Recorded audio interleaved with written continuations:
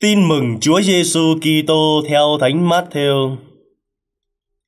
Khi ấy, Chúa Giêsu sang miền Gesareno, các môn đệ Gioan đến gặp người mà hỏi: Tại sao chúng tôi và những người biệt phái thì giữ chay, còn môn đệ của Ngài lại không? Chúa Giêsu nói với họ: Làm sao các khách dự tiệc cưới có thể buồn rầu khi tân lang đang còn ở với họ. Rồi sẽ có ngày tân lang ra đi bấy giờ họ mới giữ chay đó là lời chúa. Lạy Chúa Kitô, ngợi khen Chúa.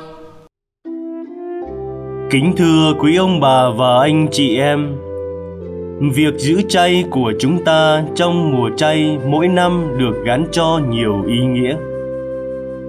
Trước hết, chay tịnh để kiềm hãm mọi nhu cầu mạnh mẽ nhất của con người.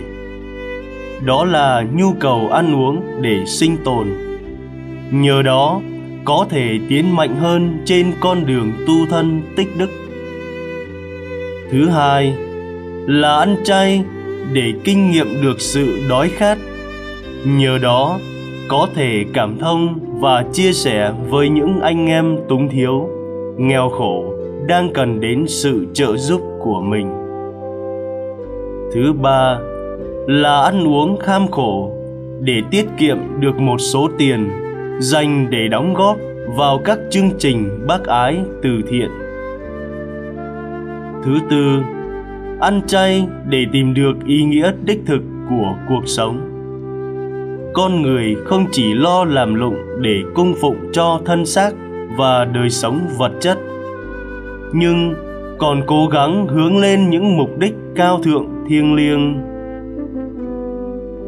Tất cả những ý nghĩa đó của việc ăn chay có thể có những yếu tố rất tích cực, đáng suy nghĩ và thực hành nhưng còn một ý nghĩa khác cũng rất quan trọng, đó là ăn chay để tập trung tư tưởng.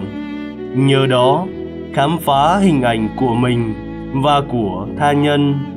Đó là hình ảnh thiên chúa ẩn nơi mỗi người.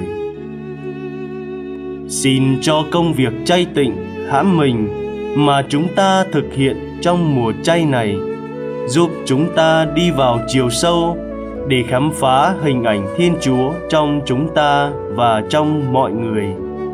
Để cuộc sống đức tin chúng ta ngày càng tỏ lộ và chúng ta có khả năng yêu mến hình ảnh Thiên Chúa nơi người khác.